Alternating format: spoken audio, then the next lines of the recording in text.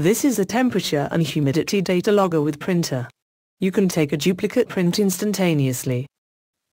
This is a temperature and humidity data logger with external sensor. You can use multiple data loggers with a single printer. Various models of data loggers with external and internal sensors are available. You can insert the data logger into the printer.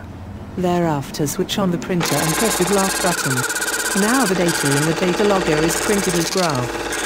This is a dot matrix printer and hence the print will not fade similar to a thermal printer. Also the print is in duplicate so that you can issue one print to the customer and the other one can be kept with you. At the end of the graph there is a summary of the readings. Also the printer has internal memory and data is downloaded into the printer. You can transfer this data to a computer. By pressing the plus minus button you can take a print of the readings which has gone above or below the permitted ranges. Here you can see a detailed view of the graph and the summary report. Details like start time, end time etc. are shown and you can see the duplicate report. This report will give the entire data required in a summary form from the data logger. This does not need a power source and works on chargeable battery.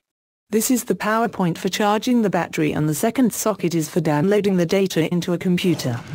Our contact details are 306 RKM Building, Deira, Dubai, United Arab Emirates.